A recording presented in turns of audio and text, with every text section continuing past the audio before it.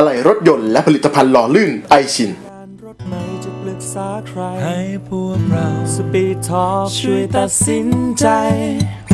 ไปพร้อมคุณนะนะนะนะนะนะ ครับท่านผู้ชมกำลังติดตามชมรายการ Speed Talk นะครับทาง Speed Channel t v i s i o n 691 นะครับทูโนเนตช่อง 74 แล้วก็สำหรับคุณผู้ชมที่มีปัญหาเรื่องรถนะครับ สามารถโทรเข้ามาได้ที่หมายเลข 02 530 9496 98 SMS นะครับ 482 7772 พิมพ์ 4 เป็นวรรคต่อในข้อความนะครับ แล้วก็ต้องขอขอบคุณนะครับ PP Super View ล้อแม็กคุณภาพระดับโลก ขอบคุณวิน4คูณ4บริการติดตั้งชุดช่วงล่าง พร้อมจำหน่ายอุปกรณ์ตกแต่งรถยนต์ออฟโรดนะครับ ขอบคุณ Run Stop เบรกมั่นใจ ใช้ Run Stop โทร 02 224 6580ถึง2ครับมารับสายนะครับ คุณผู้ชมมีปัญหาเรื่องรถโทรมาได้เลยนะครับ มาดู SMS กัน มาดูข้อนี้ครับนิสสัน X-Trail Hybrid นะครับ ตัว 2 2.0 นะครับ กับ Subaru XV 2.0 IP นะครับเลือกตัวไหนดีครับ การใช้นะครับ ก็คือใช้ส่วนใหญ่ในในเมืองในกรุงเทพ 80%กลับบ้านต่างจังหวัดประมาณอ่า60 กิโล ออกต่างจังหวัดบ้างเดือนละครั้งถึง 2 ครั้งครับ ระยะทางอ่าใช้ยาว 10 ปีขึ้นไปใช้ 10 ปีแล้วฮะไฮบริดกับน้ำมันปกติสิบปีก็ต้องตัดไฮบริดออกนะไม่ใช่อะนะใช้รถไฮบริดสิบปี เหนื่อยตายเลยไปนั่งไล่เปลี่ยน อุปกรณ์ส่วนควบที่เป็นไฟฟ้าทั้งหลายหน้ามืดเลย เพราะหมดวารันตีแล้ว เพราะฉะนั้นตัดสินใจได้เลยว่าเป็น XV Excel Hybrid ตัดไปเลย ถ้าบอกใช้ 10 ปี ตอนแรกก็ฟังอยู่มาทางทาง Excel เหมือนกันเขาบอก 10 ปีจบเลย คือไม่ใช่ว่าเราไม่เชียร์นะ ต้องบอกคุณผู้ชมอย่างนี้อย่างวันนี้เห็นภาพชัดเลย BM Series ครับ 5ระหว่าง 530i กับ Active 5ครับให้ที่เป็นไฮบริดคือวันนี้ในราคาที่ที่อังกฤษเนี่ย ถ้าตัว 530i เนี่ย แรงม้าเท่ากัน แรงม้าด้วยเครื่องยนต์ 6 สูบ twin turbo เหมือนกัน แต่ว่าได้มอเตอร์บวกมาอีก 55 ถูกไหมฮะ ก็เลยกลายมาเป็น 400 กว่า ครับ แต่0ถึง62 ไมล์เนี่ย ใช้เวลา 6.2 วิเท่ากัน แต่เสียอะไรครับ พื้นที่ท้ายระบบมอเตอร์ เข้ามาช่วย ต้องเสียพื้นที่ท้ายไปอีกความจุไปอีกร้อยกว่าลิตรเพิ่มเงินอีก7,000ปอนด์ถูกว่าฮะแล้วออกมาสมรรถนะเท่ากันวิ่งได้เหมือนกัน ไม่ได้ดูต่างกันเท่าไหร่ แล้วยาวๆอะ ขนาดอังกฤษยังยังมีความรู้สึกว่าจะเพิ่มเพื่ออะไร7,000ปอนด์ครับ มันต้องเล้าใจมากกว่านี้แล้วบ้านเราอีกอะพอวันนี้ถามว่า โอเคละรถที่เป็นระบบไฮบริดวันนี้ราคาตั้งต้นมันถูกแต่ยาวๆอะ รัฐบาลต้องให้การสนับสนุนเรื่องเรื่องยาวๆด้วยเหมือนกันนะเนี่ยเรื่องอะไรนี้ยเอ่ยเพราะว่าเขาทางเขาเรียกอะไรค่ายรถยนต์เนี่ย แบกรับไว้ตอนที่วารันตี เรื่องที่ตอนที่มันยังมีวารันตีพอหมดวารันตีแล้วมันไปตกอยู่ที่เจ้าของรถนี่ไงซึ่งเรามองว่าอนาคตข้างหน้ามันจะถูกลง แต่ มันไม่มีอะไรยืนยันเนี่ยยังไม่รู้ว่าตัวแบตเตอรี่เนี่ย ทุกวันนี้มันมันก็ไปในทางแนวโน้มที่มันจะถูกลงถูกลงนะแต่มันก็ไม่ได้ยังเร็สูวงเหมือนอยู่โทรศัพท์นะ ถูกครับแต่มันก็ยังสูงอยู่ดีคือคือใช่คำว่าถูกลง คือแบตเตอรี่เนี่ย ผมมองว่าวันนี้แบตเตอรี่ไม่ใช่เรื่องน่ากลัวแต่อุปกรณ์ส่วนควบต่างหากที่น่ากลัว นี่แหละ ใช่ปั๊มน้ำไฟฟ้า อินเวอร์เตอร์อะไร ปั๊มน้ำไฟฟ้าคอมเพรสเซอร์เบรกไฟฟ้าฟ้าทั้งเบหรลากย ไฟฟ้า เหนื่อยหมด มาถึงจุดนี้มันต้องเปลี่ยนหมดแล้วอุปกรณ์ไฟฟ้าเนี่ยมันไม่ใช่อุปกรณ์ที่หาซื้ออะไรมือสองมาเทียบได้นะ ใช่ ใช่ นี่แหละ เพราะเราตัดไปเลยถ้าสิบปีจบกลับไปขับ XV เลยครับไม่ต้องคิดเยอะ ขออนุญาตรับสายคุณศักดิ์อ้าว สายหลุดปะ ยังอยู่ไหมครับไม่อยู่สายหลุดก่อน คือเอาพูดต่ออีกนิดนึงครับอะ วันนี้หลายคนสนใจ Tesla Model S อ่าฮะเปิดตัวในบ้านเราก็ประมาณสักห้าล้านกว่า ไหลไปถ้าตัวท็อปเจ็ดล้าน มันน่าโดนมากเลย คือถามเป็นรถที่น่าใช้ไหมน่าใช้นะมี autopilot้วยนะ เออแต่ปัญหาของมันคืออะไรอะปัญหาของมันคือ พอเราใช้เกินวารันตีแล้วเนี่ยนี่อะตัวใครตัวมัน มันจะยังไงต่ออนาคตข้างหน้าใช่ป่ะตามข่าวล่าสุดมีไฟไหม้ที่ฝรั่งเศสคันเทสลาครับ แต่ว่าไอ้เรื่องพวกนี้เราเข้าใจได้ครับ แต่ว่าตัวเราเองต่างหากที่เราเป็นเจ้าของที่เรามองว่าหลังจากหลุดวารันตีไปแล้ว เราพึ่งพาด้วยตัวเราเองทีนี้กระเป๋าเราแล้วไงพอมันเป็นกระเป๋าเราปุ๊บปัญหาทีนี้เรากลัวว่า แล้วถ้าอะไรพวกนี้แบตเตอรี่ถูกลงจริง แต่อย่างอื่นไม่ถูกลงอะ อินเวอร์เตอร์ปั๊มน้ำเอ่ยยังเป็นแบบหลักแสนอยู่เนี่ยเราทำไงตายเหมือนกันนะ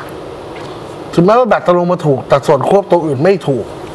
มันก็ไม่ไหวเหมือนกันนะ แล้วช่างอะ บ้านเราจะพัฒนาตามไม่เร็วขนาดนั้นไหมถูก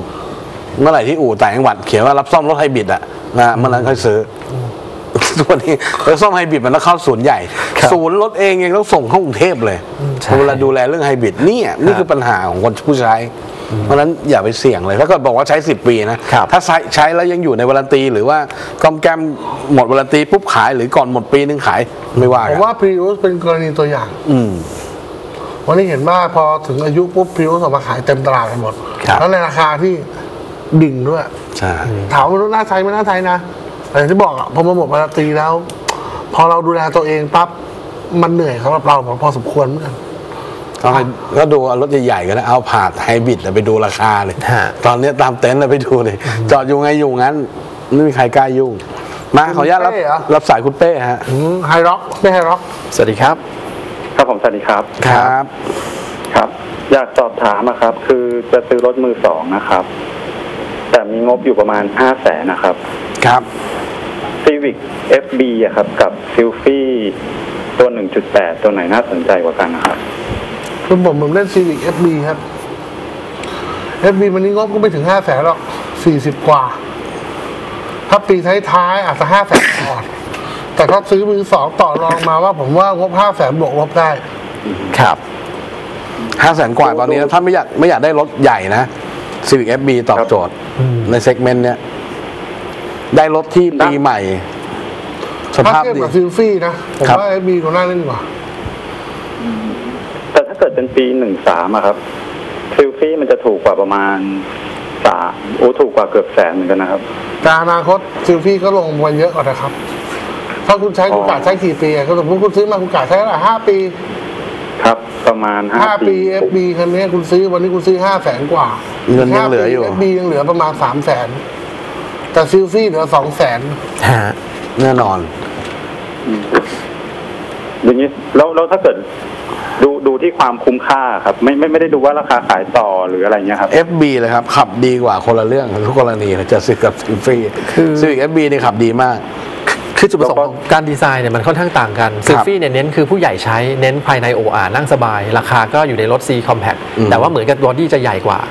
นะครับแต่ว่า Civic เนี่ยมันผมว่า FB เนี่ยเป็นรถที่ขับดีนะ ถ้าก่อนหน้านี้สักปี 2 ปีเนี่ยแล้วซื้อมือ2เนี่ยผมเชียร์ FD ครับนะแต่มอพอมาวันนี้ปุ๊บเนี่ย FD ผมว่ามันมันเก่ามันดูเก่าไปแล้ว FB เนี่ยเป็นเป็นของดีที่คนมองข้าม มันพัฒนาต่อเนื่องมาจากนะฮะ FB นะจาก FD นะใช่ FB อะมันดูเหมือนไม่ต่างกันแต่จริงๆมันก็ต่างมาดูวันนี้ปุ๊บการจอดเทียบกันเนี่ยมัน F FB มันยังดูดีอยู่นะใช่การขับขี่การบังคับพวงมาลัยหรือช่วงล่างต่างๆ เนี่ยมันดีขึ้นการขับขี่ดีขึ้นมากใช่แล้วก็การดูแลรักษา มันง่ายเหมือนกับ Civic FD เลยนะครับไม่ดูมีอะแลไรซับซ้อง่านยอะไรไม่ได้แพงอะไรครับอืมคืออย่างนี้ FB นี่ดีกว่าแน่ ๆ เลย ถ้าเทียบกับซิลฟี่ผมผมเชีว่ายร์ทุกประตู FB นะ ฮะทุกประตูเลยมันเหมาะกับ คนถามเลยผมว่ายังไม่อายุยังไม่เยอะนะฮะ ยังเป็นคนหนุ่มอยู่ คือที่เราแนะนำเนี่ย คือฮะ คุณสามารถที่จะลดซื้อรถคันนี้แล้วก็ไปดำเนินต่อชีวิตในศูนย์ปกติได้ไงไม่จำเป็นต้องไปวิ่งหาอู่ข้างนอก เพราะรถมันก็ซ่อมไม่ได้แพง ซ่อมศูนย์ก็ไม่ได้แพง ครับคุณสามารถใช้ไปจนคุณซ่อมศูนย์มาจนกว่าคุณจะเบื่อคุณจะขายเป็นมือสองมือสามอะไรของคุณเคยลองขับบ้างยังครับ ทั้งสองรุ่นเคยแล้วครับเคยเป็นคนขับรถเร็วไหมเร็วไหมก็เร็วประมาณหนึ่งครับ อืมผมว่าเจอผู้ชายเนี่ย นี่แหละ FB ขับสนุกสุดแล้วฮะเทียบกับซิลฟี่ ครับผมครับ ใช่ครับ FB นี่ก็ดูแค่ตัว 1.8 ก็พอใช่ป่ะครับ ก็คือถ้าเอาแค่นั้นราคาถ้านะฮะ ราคามันพอเพราะว่าเครื่องตัวสองพันราคามันโดดไง แต่ว่าถ้าคนอยากได้สมรรถนะนะตัวสองพันนี่สุดยอดเลยนะ ไม่หนีผมแค่มัน Accord เลยนะ ขับดีมาก ช่วงล่างจะแตกต่างกับตัว 1.8 ด้วยเหรอครับ แตกต่างครับแตกต่างครับ กระชับกว่าเครื่องยนต์แรงกว่าช่วงล่าง firm กว่า ครับ แล้วเรเรื่องค่าค่าแบบว่าค่าไอการดูแลรักษา ดูแลรักษา ค่าซ่อมบำรุงไม่ไม่ไม่ไม่ได้ต่างกันมากฮะเครื่องยนต์บล็อกมันใกล้เคียงกันต่างที่ซีซีเท่านั้นเองอืมครับผมได้ครับ ครับครับผมขอบคุณมากครับ ครับครับครับผม สวัสดีครับ อ้าวพี่วอตเมื่อวานหน้าบจออกครับ อะไรนะซีสองอะที่ไหนเขาถามแล้วเนี่ย สนใจสนใจ โชว์รูม SMP พระรามเก้าก่อนเลี้ยวเข้าช่องเก้าสมทครับสอสามห้าไอนะไปดูเลยสองสามห้าไอตรงพระรามเก้ามาดู SMS ครับเขาเขาถามว่าไททันแคปปี 11 ใส่หลังคาเหล็ก 3 มิตร ตัว SUV Plus V4 ของ D-Max 2007 ได้ไหมครับ จะไปใส่ได้ไงรถคนละบอดี้กันอะ ใส่มันน่าเกลียดตายเลยฮะใส่มันก็ไม่เข้ารูปหลังคาก็โค้งมันเหมือนกันใช่วีโก้กับอะไรนะอ่ากับรถ Titan รถไททันจะใส่หลังคา3มิตรของ D-Max เออไอ้ตั้นจะใส่ของอิวสุใส่ไม่ได้อะครับไททันอย่าไปคิดว่าดัดแปลงเลยดูไม่จืดปลายกระบะของไททันจะมีจะงอยที่ที่หักลงไปทรงมันะคนละมุมกันเลยฮะยังไงมันก็ไม่น่าจะได้มันดัดแปลงเละเทะไปหาตรงรุ่นใส่อะครับ เหมือนอันนี้ก็ถาม D-Max Hi-Lander 2.5 06 มีควันออกจากก้านวัดน้ำมันเครื่องครับ ถือว่าปกติไหม0506ที่เป็น common rail แล้วเนี่ย มันจะมีไอออกมาเยอะมาก นี่เป็นควันเลยนะ ควันหรือไอต้องดูอะนะใช่เป็นเป็นควันไอเปียกเลยนะอ่าอ่าถ้าถ้าถ้าอยู่ในการดูแลของศูนย์เนี่ยศูนย์จะให้กลับเข้าไปใส่ถังพักใบหนึ่งเล็กอืมๆนะครับแล้วก็ปล่อยไอตัวที่มันเป็นของเหลวแล้วเนี่ยลงก้นอ่างครับอันนี้จะช่วยไม่ให้มันมันมีปัญหาได้นะครับอืมแต่อย่างไรก็ตามถ้าชักเหล็กวัดมันต้องดันแน่นอน แล้วก็พวกฝาวาล์วหรือข้างเสื้อต่างๆ ที่มันมีไอน้ำมันเนี่ยมันจะเยิ้มฉ่ำตลอดเป็นบุคลิกเฉพาะของ 0506 0506นี่อยู่แล้วใช่ไหมอ่าครับงั้นก็ไม่ต้องตกใจเลย ปรับน้ำมันเครื่องมาใช้เบอร์ท้าย 40 นะครับน้ำมันเครื่องเกรดดีหน่อย อ่าประมาณนี้ครับ งั้นก็คือยังไม่ต้องตกใจนะ ฮะโอเค มาดูข้อนี้ถามว่าหม้อน้ำเดือดแก้ปัญหาเบื้องต้นได้ยังไงคะ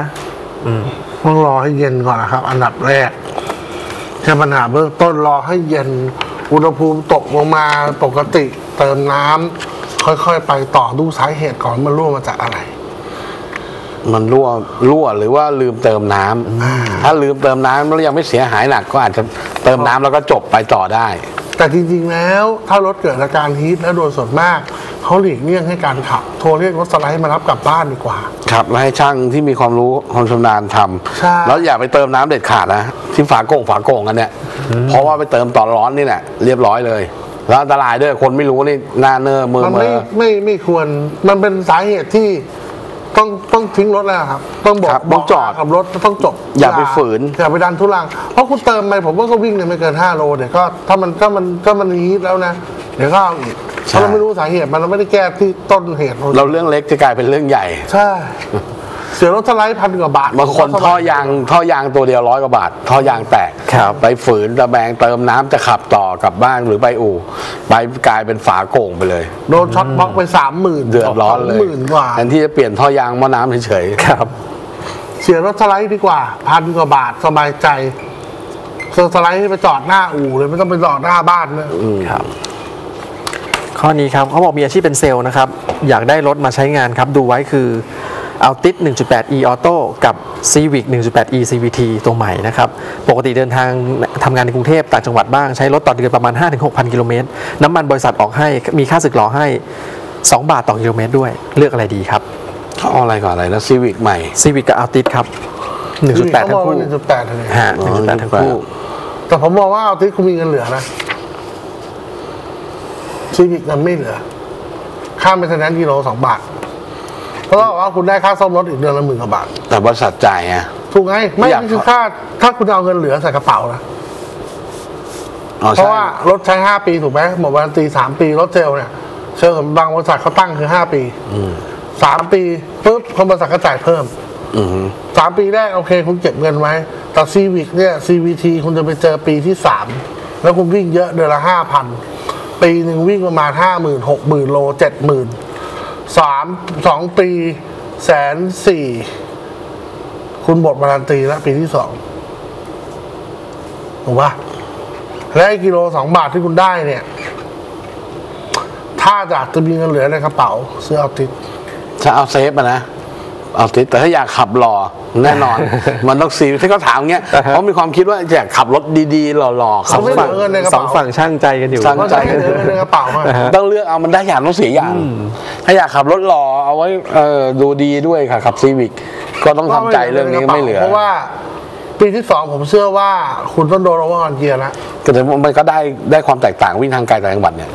เอ่อสมรรถนะ feeling การขับขี่ผมว่า Civic ตัวใหม่ก็น่าจะตอบขับดีกว่าเอาติดเลยนะ มันก็วิ่งทางไกลยาวๆความเร็วสูงเครื่องตัวเดิม แต่ว่า feeling มันดีกว่า เข้าใจแต่ว่าเครื่องเดิมเกียร์เดิม ก็ไม่ได้ดูหวือหวาเท่าไหร่นะได้ body ถูก แต่ว่าถ้าเป็นผมเหรอ play safe เอาเงินเหลือ ซื้อ Altis ดีกว่า พี่โบนเลือกเอาติดพี่บอมเลือกซีวิเลือก Civic เพราะว่าบริษัทจ่ายอยู่แล้วอ่าฮะนะขับรถขับทุกทีเป็นเซลล์แล้วขับให้มันหล่อๆหน่อยแล้ว Civic มันแล้วหน้าตามันหล่อกว่าเอาติดเยอะอะตอนเนี้ยขับไม่เอา Civic พักนใหห้าใหม่เทอร์โบอะไปเลยอันนั้นไม่ไหวซ่อมไม่ไหววิ่งห้าพันโลก็ตายเลยซ่อมผมว่าพอๆซ่อมแล้วพอๆกับหนึ่งจุดแปดด้วยนะมันดูแลตอนหลังก็ยาวมาตอนหลังมันดูแลรักษายาวกว่าเพราะเครื่องเทอร์โบอะครับ ไม่เหมาะกับรถวิ่งเยอะๆนะอะโอเคงั้นไปดูเรื่องราวของ full option หน่อย full option ทำกับ Speed Channel ร่วมกันครับทำเรื่องราวเกี่ยวกับอุปกรณ์ตกแต่งภายในรถยนต์ตั้งแต่ลายไม้เคฟล่านะครับชุดตกแต่งภายในที่ต้องบอกว่าหลาย ๆ คนที่ชื่นชอบการตกแต่งรถ อยากให้รถเรามีภายในไม่เหมือนใคร แต่งข้างนอกแล้วทำยังไงให้ภายในให้มันหล่ออลังการงานสร้างไฮโซโบใหญ่ไข่แดงจะเป็นเคในฟรถล่านี่หรูหราไฮโซตะลายไม้แบ็คเป็นโนวอนัทซีบาโน หรือเคปล่าที่เป็นลายแบบเมืองนอก ไม่ใช่เคปล่าไก่กาอาราเล่แบบตลาดนัด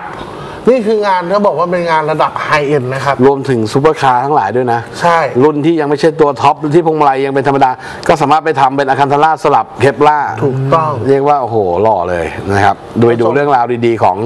อ่า Full Option ฟูออปชั่นกันครับ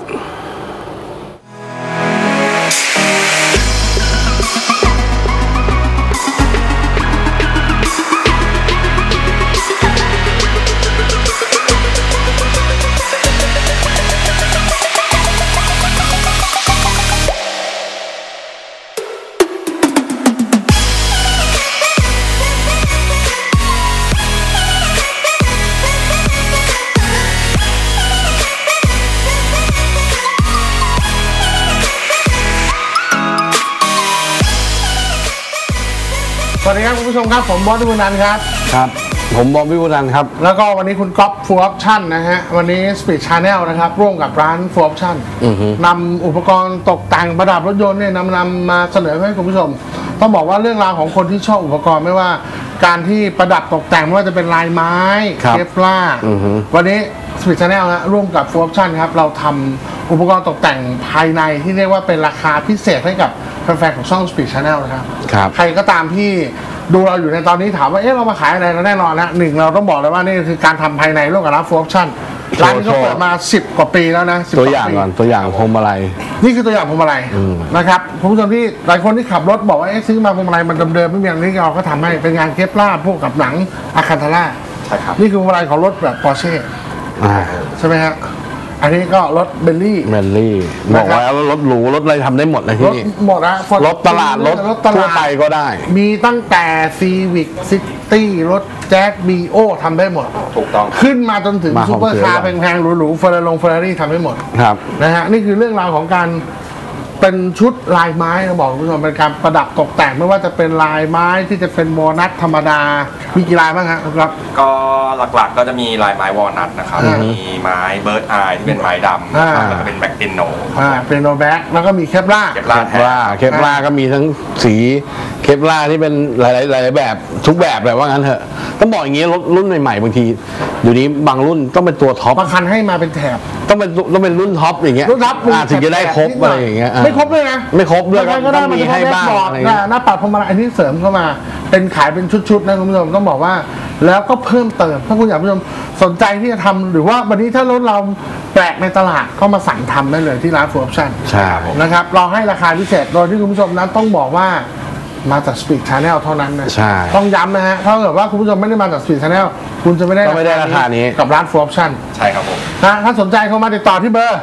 0818193345 ครับผมศูนย์แปดหนึ่งครับแปดหนึ่งเก้าสามสามสี่ห้าย้ำอีกครั้งหนึ่งนะครับสำหรับคนที่ชอบตกแต่งภายในรถยนต์ครับ พลาดไม่ได้นี่คือลายไม้ตกแต่งรถยนต์แล้วก็ Kevlar ที่ต้องบอกว่าถูกที่สุดใน 3 โลกนั่นนะสนใจที่โทรเข้ามานะครับ แล้วก็มีหลาย ๆ ชุดสำหรับโดยเฉพาะ แฟนๆ PPV ทั้งหลาย ที่เพิ่งออกรถกันมาตอนนี้ปาเจโร่สปอร์ตจริงๆว่าต้องบอกว่าทุกตระกูล PPV ปิกอัพรถเก๋งอัพได้หมด ได้หมดฮะอย่างอย่าง PPV full set นี่มันประมาณกี่ชิ้นนะคุณครับ ก็ถ้าอย่างตัว New Pajero Sport นะครับอ่า Pajero Sport ใหม่ อยู่ที่ 11 ชิ้น 11 ชิ้น ใช่สวยงามขนาดไหน เดี๋ยวให้ดูชมภาพไปเรื่อยๆก็คุยไปเรื่อยจะมีภาพประกอบไปเรื่อยนะฮะครับ ถ้าคุณผู้ชมสนใจโทรเข้ามาครับ 081 8193345โทรหาคุณก๊อฟฟูออปชั่นแล้วก็บอกว่ามาจาก Speed Channelนี่คือราคาพิเศษโทรเข้ามาครับ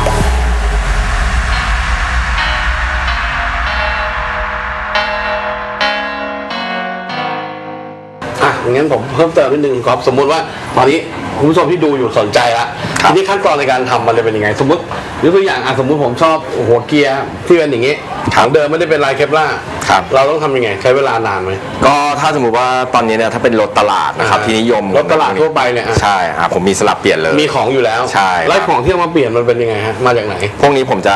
เบิกพาแท้จากศูนย์มารองรับลูกค้าเลยครับผม นี่แหละที่ผมสนใจก็คือ คุณผู้ชมไม่ต้องกังวลว่ากลัวพอเอาของรถเราออกมาใหม่ๆป้ายแดงถอดของเราออกไปแล้วเอาของ ที่ไม่ใช่ของอะไหล่ part แท้มาใส่ไม่มีไม่มีเพราะฉะนั้นครับ ที่นี่ก็เป็นอะไหล่ part แท้เพราะฉะนั้นก็จะรวดเร็วกรณีที่เป็นรถตลาดทั่วไปก็จะมีสินค้าอยู่แล้วใช่ครับผมยกเปลี่ยนได้เลย ถ้ามันตรงรุ่นมีกับที่ร้านมีอยู่ ใช่พวกพวก Pajero Sport พวกฟอร์จูเนอร์ตัวใหม่เนะครับ มีสับได้เลยมีครับผมให้สลับของแล้วก็ใช้เวลานานไหมจริงๆแล้วใช้เวลา ชั่วโมงเดียวครับชั่วโมงเดียวเองเหรอ คือช่างผมเนี่ยพูดง่ายๆถอดวันหนึ่งนี่สี่ห้าคันครับผมไม่ต้องกลัวเลยพี่อ๋อช่างชำนาญมากครับ มาวันเดียวจบ ใช่ครับ อย่างที่เห็นอยู่สินค้าอย่างที่บอกนะครับ พวกนี้สามารถ เปลี่ยนใส่ได้เลย ถ้ามันตรงรุ่นถ้าไม่ตรงรุ่น ก็ใช้เวลาเวลานิดนึงถูกใช่ไหมครับ ประมาณ4ี่ห้าวันครับสี่ห้าวันแต่ส่วนใหญ่พวกนี้เราจะมีพวกอย่างพวงมาลัยก็มีพวงมาลัยสำรอง อ่าฮะ ใส่ให้พี่สามารถใช้รถได้อ่ตามปกติ ไม่ต้องทิ้งรถไว้ใช่ครับ ซื้อมาสับเปลี่ยนมาเข้ามาพูดคุยกัน ถ้ามันไม่ตรงไม่มีมีของสับเปลี่ยนไปแล้วก็เอารถไปกลับไปใช้ก่อนใช่แล้วก็กลับมาติดตั้งทีหลังถูกต้องครับผม เอาเพราะฉะนั้นสะดวกสบายแน่นอนรีบตัดสินใจเข้ามาครับ